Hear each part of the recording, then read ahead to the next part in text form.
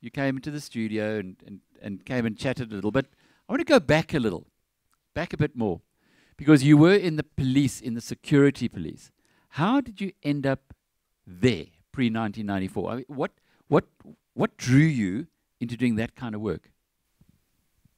Um, Alec, thank you first of all for um, for having me, and thank you to all of you for for staying up. I've no idea why you wouldn't be in your bed by now, but thank you for not being there. So the question that you ask is, how did I land up in the police, and how did I land up in in the security? Well, well just yeah, just go back a little bit. Sure. Not everybody wants to become a cop. No, exactly. Especially not an English-speaking uh, matric guy in the apartheid era. It was not normal, and um, my dad, like you, was a journalist. I was raised by a single parent, and it wasn't my mom. My dad raised us on a journalist's um, salary, and he kind of understood a little bit of the cultural, social, or political context that I was going into when I left high school in 1981 and went to go and, under, and do a year's worth of police training in the Pretoria Police College. Um, which was a predominantly Afrikaans environment. And he was right, because when I got to Bravo uh, Company Platoon 7, there were 36 men in a bungalow, and four of us were English speaking. I don't know how, Alec, um, I've never tried to find out, but I don't know how the security police found out that there was this English speaking kid um, from Joburg at Parkview Police Station, and they came recruiting, and I landed up uh, first of all, there was a special investigation unit formed that was not a security police unit. And cops were seconded to, the, to this uh, uh because P.W. Botha had declared the second state of emergency. And they needed investigators to interrogate a lot of the um, activists. And um, I was listening with interest to Helen Zille this morning because those organizations that she mentioned, like the, the End Conscription Campaign, the UDF, those were our customers. Was she was she on your list? Now you, 1981. Yeah. I'm sure my phone was tapped. No, well, I, I could almost and I could, you know, you'd listen I, and you'd get some. I was Lynn Matrick. Okay, okay, it wasn't you then. Yeah. All right, okay. Yeah. Because 81. So when was it that you started tapping phones? Um, 86. Okay. Yeah. yeah. And you, you, you don't know about my phone? No. Oh, cool. Okay. but I, but I, I, will tell you a, a, a brilliant story, Alec, that I don't think you can tell the story in any other country in the world. Because when I was recruited as a very young, very green, wet behind the ears warrant officer into the, into the churches section of the security police in, in John Vorster Square, my commander, as my induction almost into what the security branch does, said, You go up to the 11th floor, which was where the technical department was, where all the bugged phones happened. So my job was to arrive at work in the morning, go upstairs and fetch those old reel-to-reel tapes of the phones that were bugged. And my um, suspect was a lady called Mary Mxadana, who was the secretary to the general secretary of the South African Council of Churches, Dr. Wolfram Kistner. So I would sit with these big headphones on with these tapes spinning, and my instruction from my commander was make a note of anything subversive that you hear on this, on this bugged phone. No training, no guidance, just make notes. I couldn't understand 70% of it because the conversations were either in Sesotho or Zulu. But the English part, you know, from what I thought sounded subversive, I reported that up the line. Imagine my surprise. So that's 86. Imagine my surprise in 1996, 10 years later. Is that right? 10 years later, I get to the Presidential Protection Unit as a team leader. And my colleague Jason Chabalala says, Rory, won't you just go down to um, the, P- the PA's office and go and get the program for the president for the next week? I walk in there. Who's the president's PA? Sis Mary, oh. Miriam Mxadana. And she says, Would you like some tea? I said, I would love a cup of tea. She, you know, she's printing the program while the, we're waiting for the document to arrive. I said to Mary, I've got to tell you something. I said, You don't know this, but I used to, I was a security branch cop and I listened to your telephone that we bugged. And thinking, you know, what's going to happen? And she threw back her head and she just roared with laughter. And I said to her, Where else in the world can two people have this conversation? You know, yeah, we're both serving now the, you know, the, the most famous human being on the planet, and um, I bugged her phone. Extraordinary. Extraordinary. Mary, yeah. Mary, yeah. Special lady. She's, she's no longer with us. Yeah, yeah. Okay, so how did you then move from? Well, before we go there, when I was listening to our interview, you said the churches section. Yes. You, you presumably weren't a choir boy or. No, no. Well, I, I, I was then, and I still am, uh, um, uh, an, an, an active Christian in, in, in my church, and maybe that's what the security branch knew, and that's maybe why they recruited me. I don't know, Alec. But this, the reason that the security police had a churches section was because a lot of the funding for the anti apartheid organizations, such as the UDF, was funneled from overseas via the churches and via the South African Council of Churches, in particular in Khotso House, which is why the security branch blew up Khotso House um, in the early 1990s. That's why they targeted it. Yeah, so the, it, was a, it was a conduit for anti apartheid funding, the churches. And that's what the security police concentrated on. And, and what was the job? As I said to you, we, um, so the job of the security branch overall was to gather intel on anybody who acted in any form or manner or was a member of any organization that acted in any form or manner against the state. That's what we did. And of course, out of that came, you know, a, a litany of, um, of quite serious human rights abuses that all surfaced in the, in the Truth and Reconciliation Commission, as we know. Yeah. Okay, so we get the background. Here's this English speaking guy who gets put into a bungalow of, of mostly Buddha. Yeah. Um, he's in the police. Yeah. Uh, he, he then goes into the security branch because he's a Christian. He goes into the churches section, which is the conduit for money that comes through. And not long after that, we have massive transformation in South Africa. How did you feel about that? Ah, I didn't agree with it. You know, perhaps my um, perhaps my training, first and foremost as a police officer, and second of all as a security branch police officer, was that I drank the Kool Aid. I'm happy to admit that I bought into the um, you know the racial or the ideology of a um, you know of a a, a, a divided South Africa was probably better. And I had no reason to think that, you know, that, that, that trying to build one South Africa and uniting her peoples was a good idea. Um, I, you get people now, you can't, as somebody said the other night, you can't find anybody who voted for the Nats. Well, here's one, you know, so, yeah. yeah.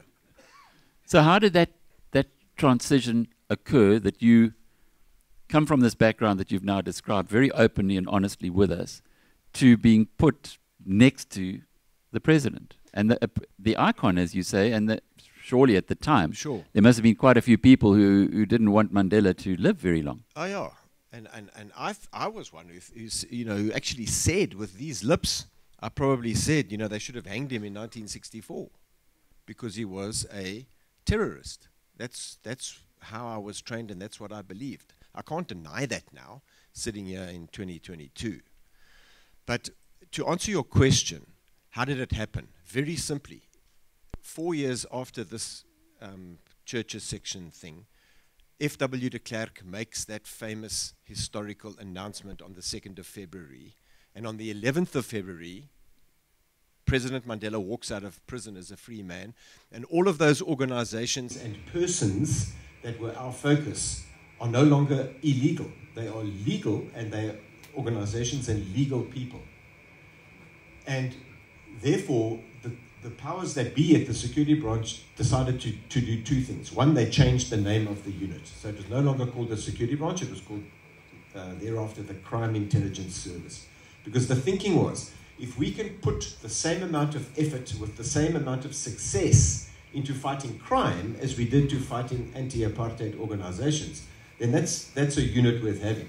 And sadly, we know what's happened to the Crime Intelligence Service. It's become a compromised unit that really serves um, the governing elite and doesn't serve our um, intelligence uh, needs and, and, and, and, and, um, and requirements. And the second thing that happened is they didn't know what to do with me.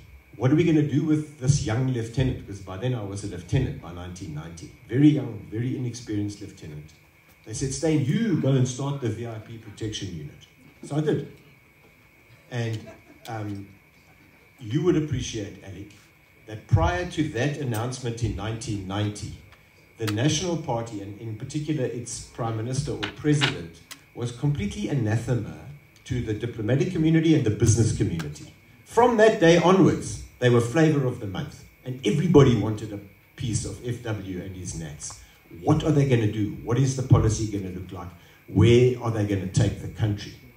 So FW was the, the, the, the, state president at the time, who very rarely came to Joburg, if ever.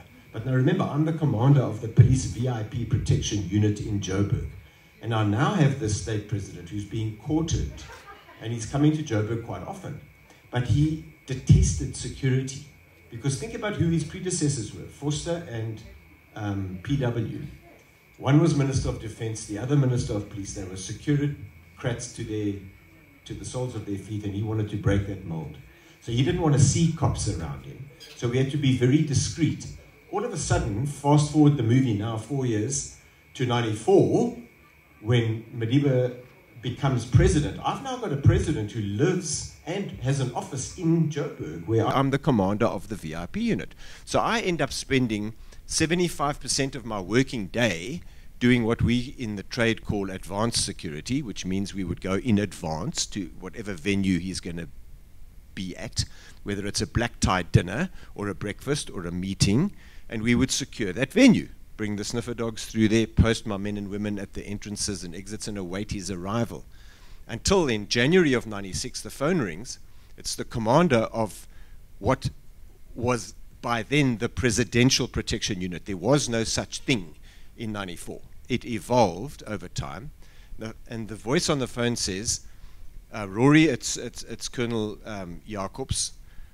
One of the team leaders is immigrating to Canada. He's going to go and study there. You are the same rank. You know the president, he knows you. You know the teams, they know you. Would you consider applying for that position as team leader? So I said, Well, give me 24 hours. I need to consult the government at home. And I said to my wife, you know, do I do this? And she says, yeah, I think you should take it. So I phoned him back the next day and said, okay, I'm in. And I transferred from Joburg to the Presidential Protection Unit and I was appointed as his team leader. But you weren't ANC? No. Anything but it? No. I've, I, I, I grew to love Madiba. I miss him every single day. He was brilliant towards us, but I could not identify with his party because I don't, and I don't like the fact that we, uh, uh, and I'm not a politician, Alec, please understand that I'm not. But I don't like the fact that we almost live in a socialist country today. As, as uh, one of our speakers this morning was saying, we do. We live in a socialist country, and I will never vote for that. Yeah. When did you first meet him? On the day he became president. Great story. As the commander of the VIP unit in Joburg, our job was to secure the, the five star hotels for the 184 heads of state, heads of government, and royalty who came to Madiba's inauguration. It was a massive international event. And there were no five star hotels in Pretoria. So all of those people stayed in Joburg, and their motorcades had to get them up the M1 on that day, which was the 10th of May 1994, when Madiba swore the oath of office before the Chief Justice, and we saw the helicopters flying with those huge, big ceremonial flags, and all of those images that are kind of part of our, our life in South Africa. I get a telex from head office to say that the newly inaugurated president, after swearing the oath of office, will fly on one of those helicopters to Ellis Park in Joburg and attend a soccer match where Bafana Bafana are playing Chipolopolo, Zambia, the reigning African Cup of Nations champions. Because somebody very wise on the inauguration committee decided if we put 60,000 soccer fans into Ellis Park, then that, and we televise the inauguration on the big screens in the stadium, then that is 60,000 fewer people traveling up the M1, where I've got to move these 184 motorcades. and more importantly, 60,000 fewer people trying to cram onto the lawns of the union buildings where this massive celebration is happening, because this is truly the culmination of the struggle. democracy has dawned, freedom has come to the majority of our people, and they're having a party on the lawns of the union buildings. And that's all being televised, by the way. So I get this telex and I think, you know, nobody's given me any new instructions. I'm still the commander of the VIP unit. I better go to Ellis Park and do for Madiba, who I've never met, what I would have done had de Klerk been coming to a rugby match there. So I go, sniff sniffer dogs, check the president's suite, post my men and women. Helicopter lands on the roof of the Technikon next door, and the motorcade drives him around the corner. Up the ramp and across this parquet floor with the tires all squeaking now over the polished floor. And a motorcade pulls up outside the president's suite. The SAFA officials are standing there. I'm standing there. They welcome the president. He doesn't go into the president's suite, he goes straight to the lift because he was supposed to arrive before kickoff. It's now half time. And I think the teams are even waiting for half time. He goes down to the dressing room level and he walks out of the tunnel as he did a year later in, on that famous day. And that crowd that have just watched him swear the oath of office are going absolutely berserk, as crazy as the crowd on the lawns of the union buildings. Here he is, in front of them, in their presence. He greets the teams, you know, as presidents do.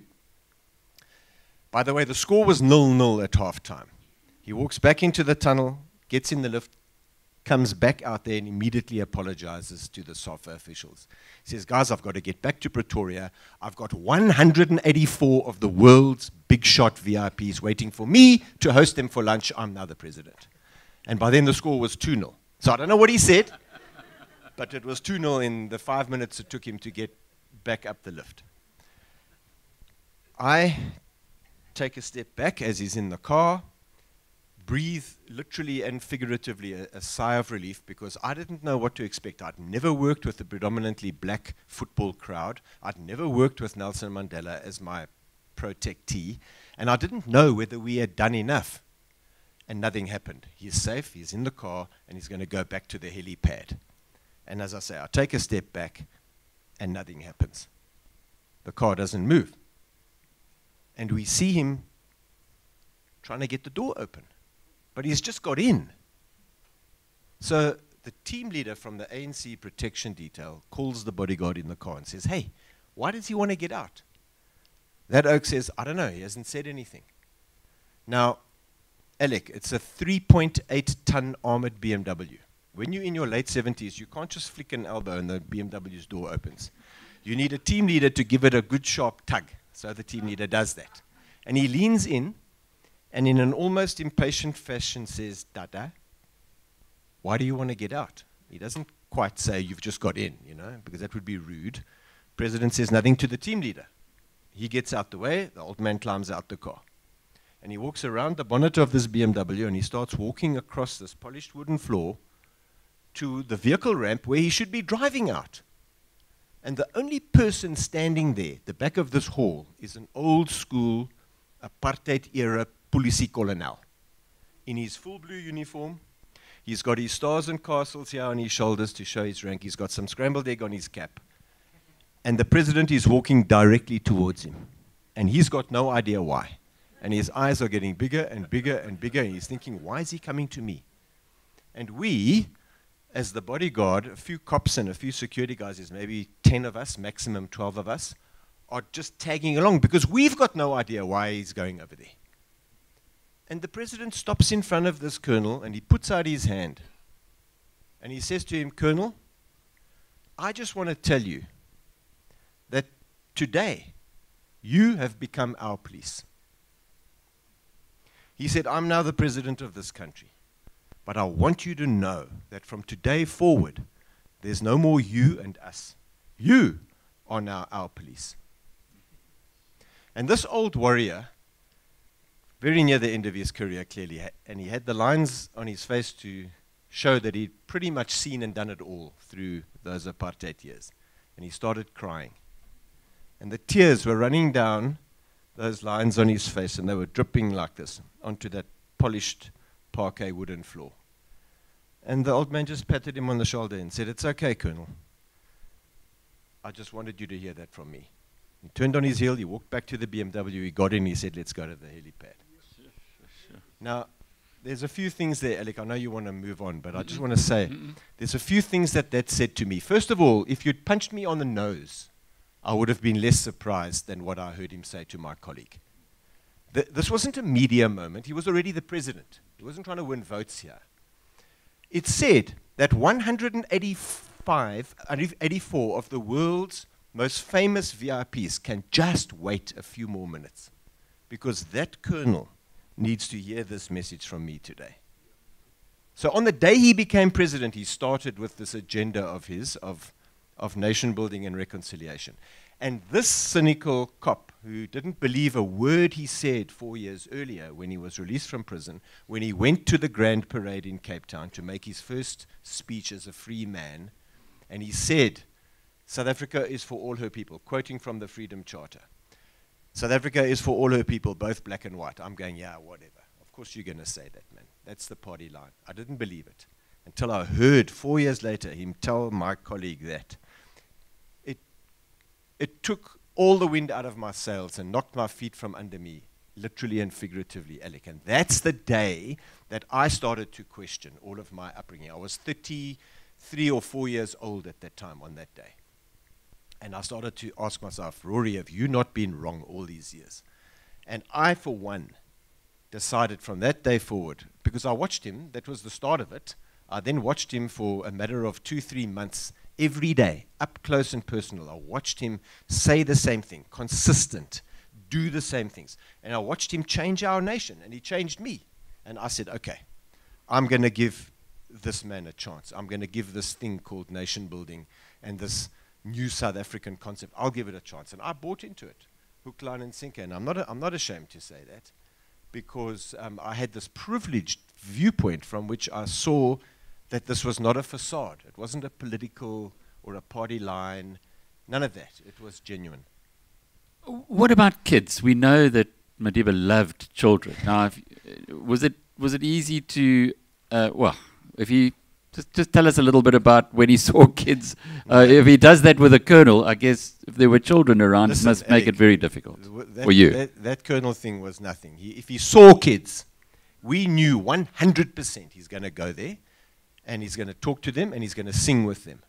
Not to them, with them. He'll, and he will normally sing Twinkle, Twinkle, Little Star. He'll get them singing.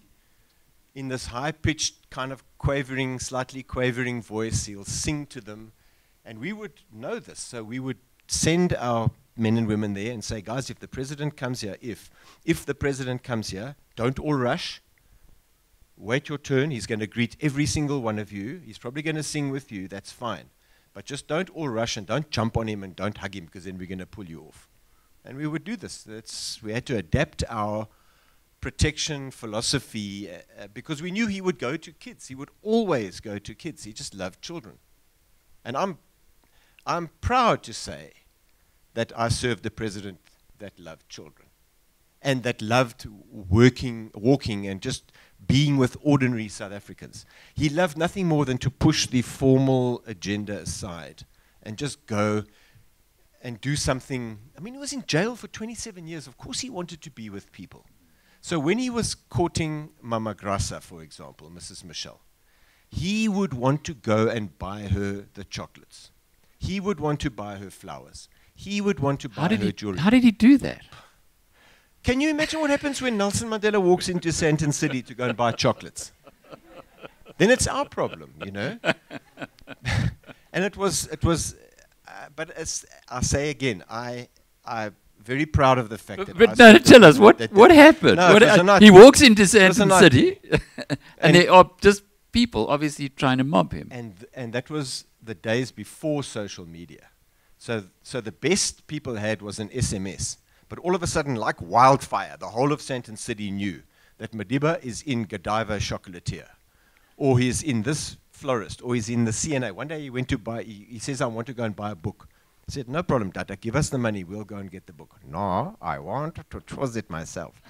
so now we go into the CNA. And within seconds, the entire CNA is overrun with everybody who's in Sandton City. So I tell the guys, close the doors. So our guys start closing the sliding doors, and he says, Rare, man, tell your people, we mustn't close the doors. I said, Tata, they're going to steal all the books. Said, okay, close the doors.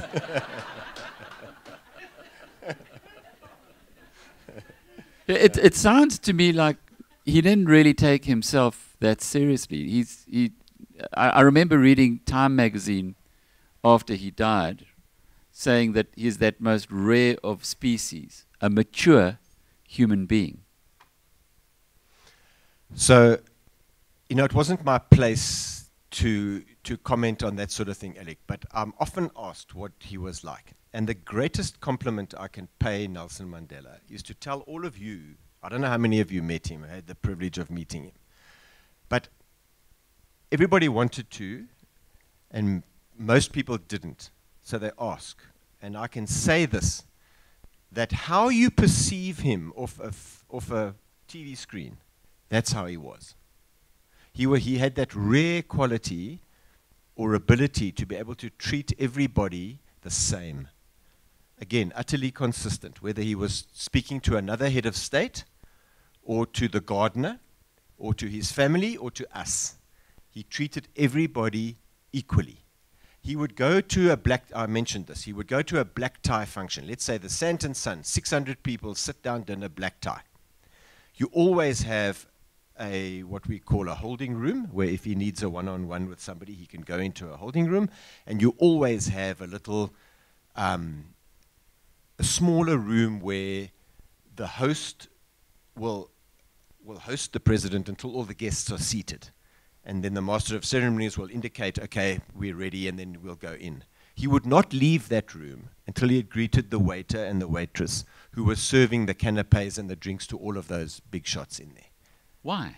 because it's just who he was. I don't think he was trying to, to, to do it again because of any uh, particular agenda or to show he was a good guy.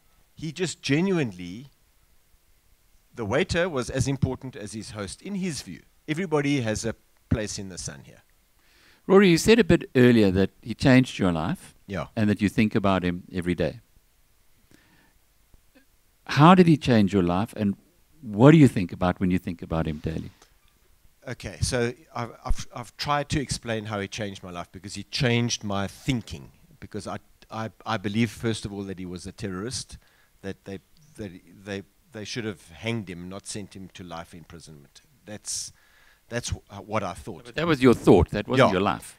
But no, exactly. And then I got to meet him. Then I got to see the things that he was doing, and I got to um, hear the things that he w- that he was saying, and I got to understand that he's actually hundred percent committed to and genuine and sincere about building one South Africa. Um, sorry, what was the second part of the question? You think about him every day. I, How? think, I think about him every day because of the lessons that I learned from him that I now try and teach my sons. He had fantastic manners. He would never walk past a lady without greeting her. He would stand up if a woman walked into the room and he was sitting down. He had those Victorian manners. He would go to the children. He would, he would thank people. And he was sincere about it. One day, Alec, we arrived at the Union buildings so we had he lived in Houghton in his own home, not in the in the official residence in Pretoria. So we had to drive up that M1 every day. And one day, it must have been school holidays, and we caught every robot green, and we got there at like 10 to 7 in the morning. Business hours in the government service are 7:30 to 4. So we tried to get there quarter past 7 in the morning. We must have got there 10 to. The place was a ghost town. There's nobody in the union buildings. And we had this private drop off on the northern side of the, of the union building where you come through an archway into a big courtyard and then you go up the stairs or the escalator or the lift to the floor where his office is. And as we walk through this archway into the union buildings, there's a cleaning lady on her hands and knees polishing the stoop with cobra wax. And he literally kind of almost, you know, walks into her backside.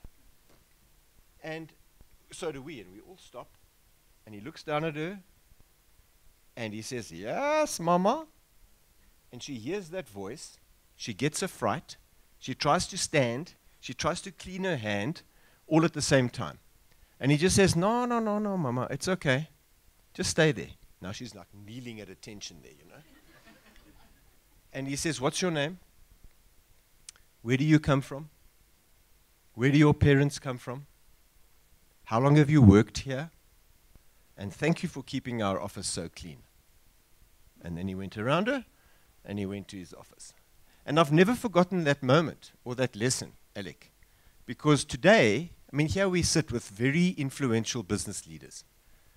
And maybe there's a chairman of the board, for example, I don't know, anybody, walked in, who walks into his office and when the tea lady greets him and says, Good morning, sir, he doesn't have the decency to. I think nothing of such a person. Because if Nelson Mandela can stop and greet the tea lady, uh, no, sorry, the cleaning lady on her all fours with a dirty rag and cobra wax, who are you, sir, to not return the greeting of the tea lady in your own office? I, I've never forgotten that, that, that lesson. And it's things like that that showed me that this is an extraordinary person, human being. Was there anybody who didn't like him? Anybody who was arrogant in his presence? Louis Luyt. um, yeah. Um, not. Was he? Were they? I mean, were they like sparks when they no, were I, together? You know, I can't say. I did go to court with him that day. That he was, and he was just so thoroughly uncomfortable, not wanting to be there. But for the sake of the fact that the court had summoned him, and the importance of the rule of law to him, he went. And again, I have to admire that. I can only admire that because it was, it was humiliating. It was, it was demeaning. But he went because of he had to set the example. That's what he. That's how. That's how he saw it. So I, that was a tongue-in-cheek statement. I, I honestly don't know of too many people who, um, you know, who didn't like him. But he tells. He, he had. He, he loved telling stories. And again, he would push the, f- the formal speech aside and then start telling stories, and then we would listen. So he tells this great story. He says he's, he's somewhere, I think he was on his, on his farm in Qunu, and a young girl came in there, eight or nine years old, and she said to him, um, How old are you? This is Namadiba telling the story. So he says to the girl, No, I don't know, I, I can't remember, but I'm quite old. And uh, she says, Why did they send you to prison? And he says, No, some people didn't like me, you know, so they, so they sent me to, to, to prison. And, he, and she says, And how long were you in prison? And he says, No, I can't remember, but it was quite long. And Madiba says, and then she looked at me and she said, You are a stupid old man. Because he couldn't answer any of her questions. I, I, I'm quite interested about how people changed in his presence and before. You mentioned earlier, uh, and, it, and it is a truism, you can often judge people by the way that they treat those who are, in their opinions, in lesser, lesser stations Yes. than they are, um, than they happen to occupy.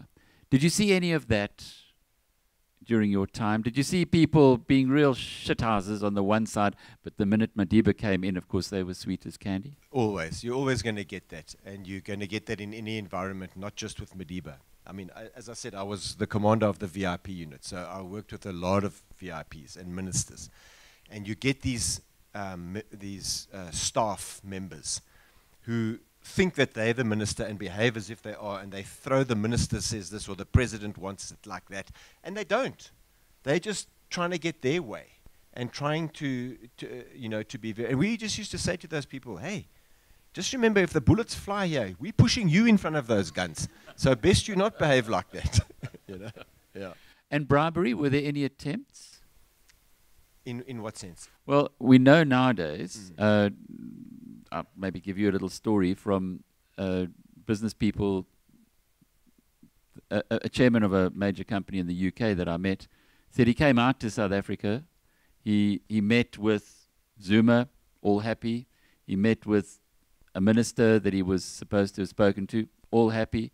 And as he was departing, uh, the two people who were showing him around said, Well, that's going to be half a million dollars to do the transaction you were talking about, the investment you were going to do. And he, he had no reason to, to lie to me at that point, excepting to say that's why they didn't invest in South Africa. Did you get any? Did you get a smell of anything? Any attempts like that? No, I, ca- I can I can say hand on heart. I, I I was never privy to anything like that, other than in Madiba's last year in office. So that would be late um, '98 up leading into '99, because he handed over the reins of the country to President Mbeki on the 7th, the 16th of June '99. And in that last year, uh, the deputy president um, Thabo Mbeki was pretty much running the country, and Madiba was more or less a figurehead, and he was trying to tie up some of the kind of programs, initiatives, agendas that he was doing, especially on an international basis. For example, the conflict in the Great Lakes that he was trying to resolve and get uh, Kabila out of power, and you know, bring peace where there where, where there was uh, that kind of conflict. He was also in, involved with President Mary Robinson in Ireland on some of those initiatives. But what he did in that last day, and I mean, um, I didn't see it as bribery, but what he did, he was very, very clever. Um, he instructed his, his secretaries to call up the CEOs of like the top 30 companies. And he would, this was his strategy. He would invite them for breakfast and he would say, Bring your wives. And then this gentleman and his wife would come for breakfast at Houghton very early in the morning, 7 o'clock. And Madiba was a great raconteur, very good storyteller, and a wonderful host. And he would host them for breakfast. And then at the end of the breakfast, he would say, Now, and the reason I called you here was that I need to build a clinic in some rural village, or I need to build a school in that rural village. Now, which CEO, in front of his wife, having just been regaled and entertained by Nelson Mandela, is going to say no? And so they would, they would you know, come up with the, with the three or five million rand or whatever it took to build the village. But it was never for him. It was always for a community of people where they needed a school or a clinic. So, you know, maybe it could possibly be argued that that was, you know, um, that gave license to certain people to go further than that. I don't know. But I can tell you that when that clinic or that school was built, he brought that same CEO with his wife and flew him down there, and they opened the clinic and cut the ribbon together, you know. So that guy got his mileage for his company, no question. Yeah. Enormous amount of good. If you're in in prison for 27 years, you don't eat great food. Uh, I did notice that the the one evening that I was, I did have dinner, um, and everybody else got five star meals, and he had literally samp, and I think it, yeah. yeah. It, was that the way he used to eat ordinarily? Especially towards the end, Alec. Again, I wasn't privy to all of it, but I know that um, you know the doctors and uh, the medical people that that looked after his health would have said to him that you know he needs to follow this diet rather than that. But he loved simple isiXhosa food. He, so so when we were, when we were on the farm in Qunu, and they slaughtered a sheep. I mean, there they slaughter the sheep. Yeah, they light the fire. Yeah, and they cook it in the fire, and then they bring him the cheek that tender meat from the cheek and the tongue of the sheep, because that's what you, that's what you give to the elders. You, get, you give them the, you know, the, the best cuts of meat. And it was that. So he ate red meat. So he would eat gusha, which is um, the, also word for a, for a sheep.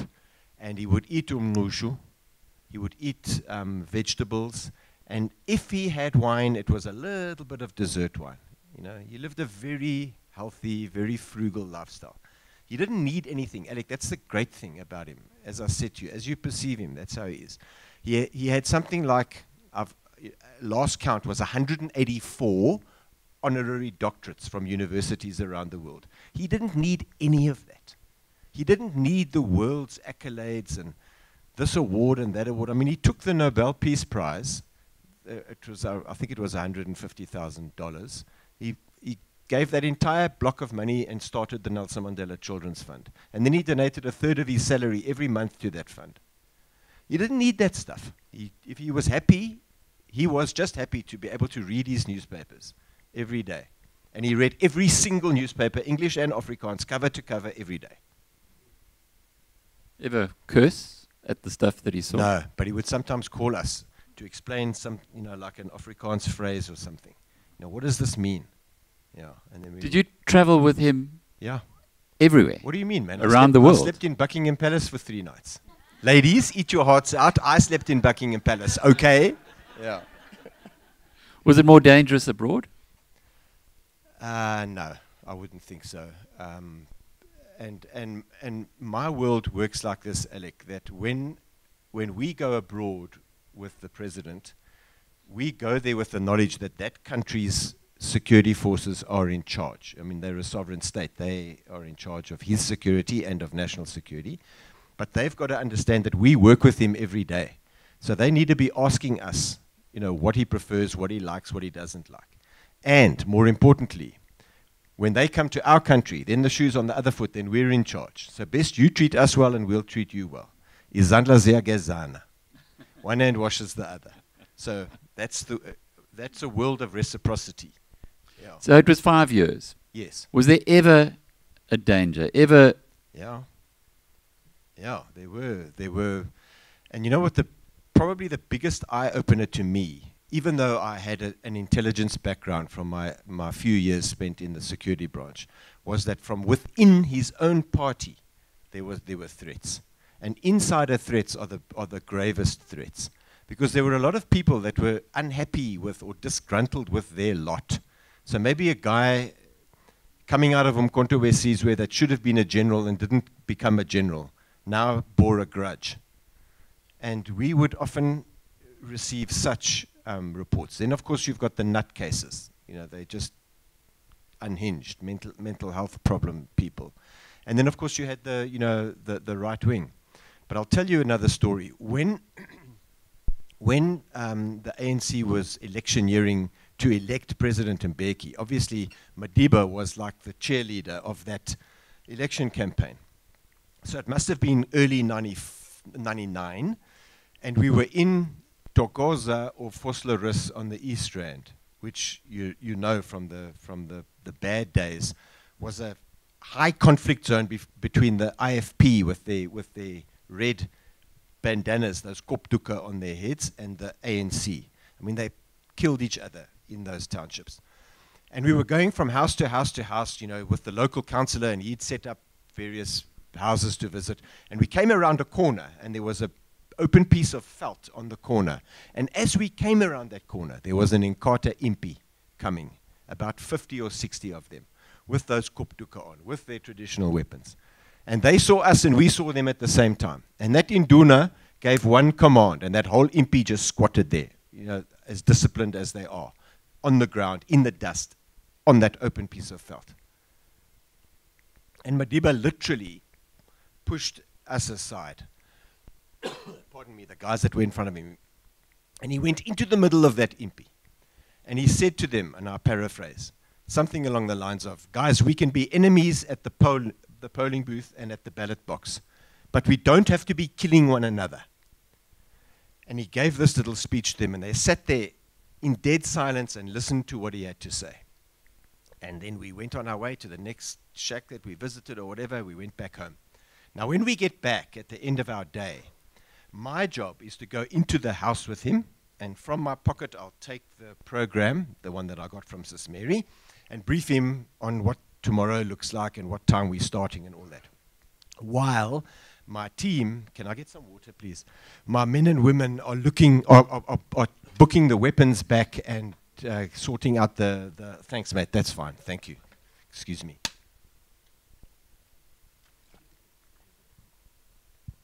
Thanks, Bruce. Thank you. So my, my team will be sorting out vehicles and weapons.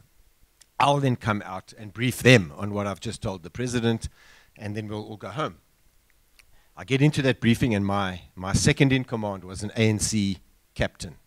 He's also no longer with us, uh, a Zulu from KwaMashu.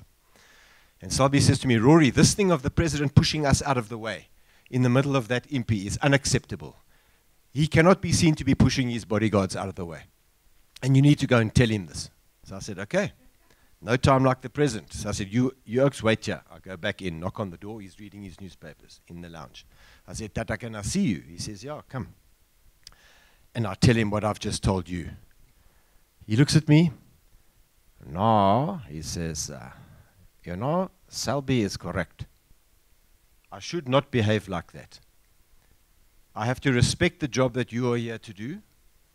And please go back and tell them that I apologize. So here I go, carrying the apology of my president back to my team members to say to them, guys, you know, the, the old man says he's sorry and it won't happen again. But I knew, as sure as the sun's going to rise tomorrow morning, if he got another such opportunity where reconciliation was on the agenda, he would do it again. Because that's, it was very important to him. But he was big enough to say, I'm sorry, and, and please apologize to your, to your team. Rory, we've one last question. Sure.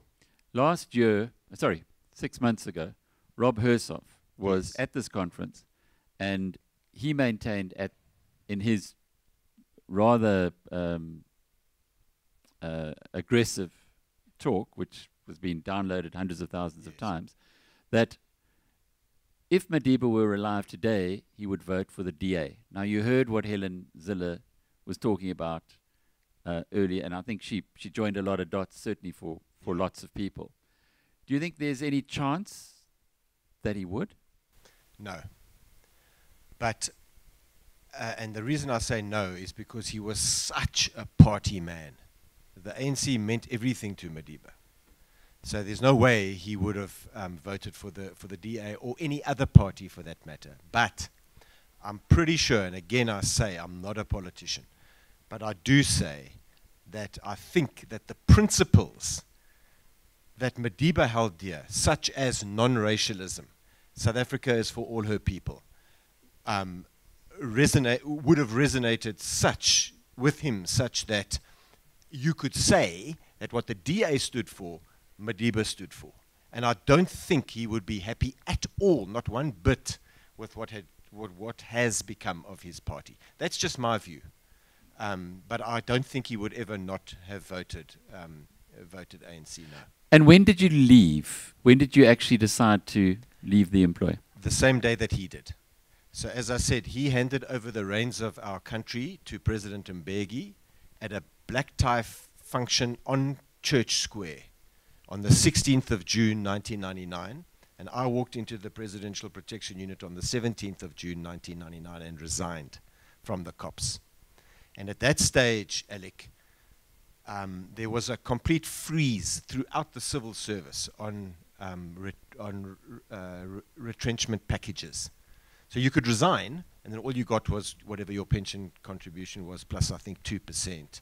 But you couldn't get that package, that whole re- retrenchment package, because too many people were taking it. But I knew that Madiba had written to Sydney Mufamadi, who was then the Minister of Safety and Security, to say approve Steyn's package if he applies. So I went in there and I said, guys, I'm, I, I'm, I'm, I want to resign, but I want to apply for the package. And this clerk said, well, you know you, you're not going to get the package. I said, yeah, no, I'm I'm well aware of that, but I'm going to apply anyway. And two weeks later, I had my complete. So I'm still on, on Polmed as my medical aid. Uh, that's just one of the benefits of that package, and it's all thanks to him. And, and maybe very briefly, what have you done since? So I left the police on that day and started a security company that I'm still a shareholder of and a director of with this with the guy that I started it with, Bob Nicholls. So 22 years down the track, or 23 years actually. Um, excuse me, we must have been, must have done something right because we're still in business together. Yeah. So that's that's your that's your business and your passion, security. No, well, I'm glad you asked that because it's going to give me the opportunity to say something without you asking the question. So, yes, it's my business. Um, so we're in private security at at the you know at the, the higher end of the security industry, but it's it, it isn't what gets me up and out of bed in the morning anymore, um, Alec. I'm 58 years old, and I've come to that part of my life where I feel that I've got to find another way or another channel to, to kind of give back. So I started a charity in 2018 that, that looks after the widows and orphans of cops killed in the line of duty. And I must say that I agree with pretty much everything that Helen Zille said this morning, particularly about the police having become so, um, um, uh, what's the word I'm looking for, man, beholden to crime and criminal syndicates. But Alec, whatever we think of the police and their behavior, it's not the fault of that little boy or girl if their mom or dad is killed at the hands of a violent criminal. And so our charity looks after, it's called the African Icons Invitational, and it's a cycling charity. That's why I was asking Holgo uh, you know, about riding, cycling this morning. So what we do is we get African icons, iconic sports people predominantly. Um, we, we've got one coming up on the 12th of March at Steyn City, where we've got um, OJ Molefe from Supersport. We've got uh, Dingaan Thobela, the Rose of Soweto. And John Smit, our World Cup winning captain, was going to ride, but he's got to do a dads and lads camp with his son on that weekend. So I'm going to replace him, I think, with Matthew Booth. But ordinary punters like us that are weekend warriors, we will put some money in to come and ride with icons like that. And that money we just give to the Widow and Orphans Fund and the, the South African Police Service Education Trust so that those kids, you know, are looked after. And that's what gets me up in the morning, more so than just going to work again. I mean, I've been doing, I've been doing policing and security for 40 something years, you know, enough now. Not quite. But, um, you know, I'll, I'm just being honest. That doesn't float my boat as, as it used to. And, um, you know, matters like that or social justice issues are kind of where I think I'm going to be spending the rest of the energy that the good Lord gives me. Rory Steyn, thank you. Thank you.